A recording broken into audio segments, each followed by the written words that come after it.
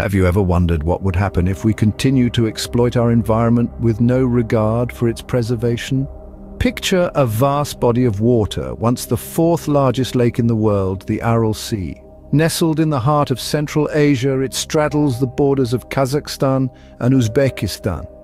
Its shimmering expanse was a beacon of life and prosperity, but now it stands as a symbol of environmental mismanagement, one of the most dramatic examples of an ecological disaster in recent history. This once vibrant sea teeming with life now lies on the brink of extinction.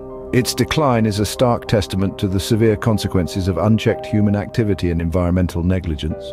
The Aral Sea serves as a chilling reminder of the fragility of our planet's ecosystems and the devastating impact of unsustainable water management practices. But how did such a vast body of water come to be on the brink of extinction? Let's delve into the history. The Aral Sea's decline began in the mid-20th century, a result of seemingly harmless human activities. Now picture this, the Soviet authorities, in their drive for agricultural advancement, embark on large-scale irrigation projects. They divert water from the two life-giving rivers, the Amu Darya and the Syr Darya, to support the cultivation of cotton and rice in the arid region. Sounds like a good plan, right? But here's the catch.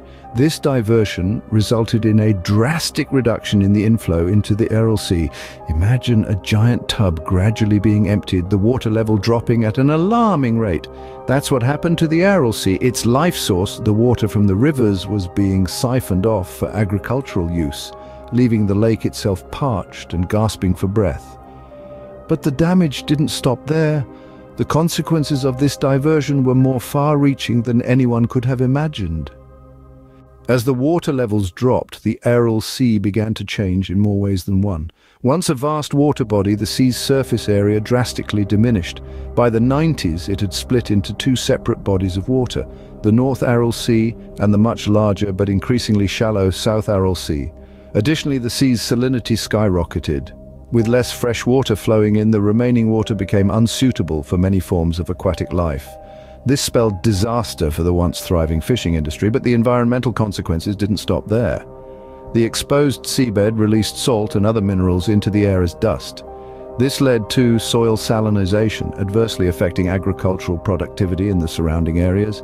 Native flora and fauna started to disappear, and the once vibrant ecosystem began to wither. The Aral Sea was now a shadow of its former self, with its ecosystem in ruins and the lives of the surrounding communities in turmoil. Despite the bleak situation, efforts to restore the Aral Sea were not abandoned. International organizations and governments recognized the severity of this ecological disaster and leapt into action. They initiated projects aimed at restoring the Aral Sea's ecosystem. Teams were dispatched to the region to build dams and dikes with the goal of redirecting water back into the North Aral Sea, breathing life back into the parched land. In addition to these efforts, water-saving technologies were also introduced into the agriculture sector. These advancements aim to reduce the strain on the area's water resources, promoting sustainable farming practices and helping to restore the balance of water inflow to the Aral Sea.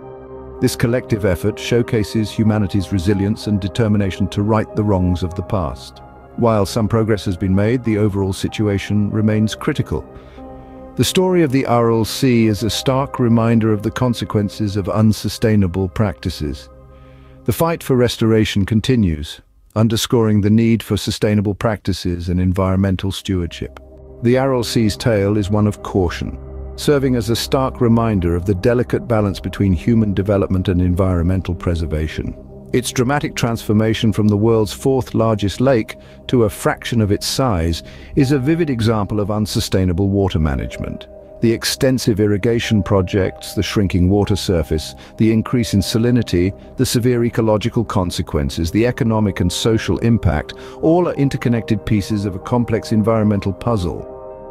But amidst the crisis, hope persists. International organizations and governments are working together to restore the Aral Sea. These efforts, like building dams and implementing water-saving technologies, are crucial not just for the affected communities, but also as a global reminder of the consequences of unsustainable water use. The Aral Sea continues to be a symbol of environmental struggle, reminding us that our actions today will determine the state of our planet tomorrow.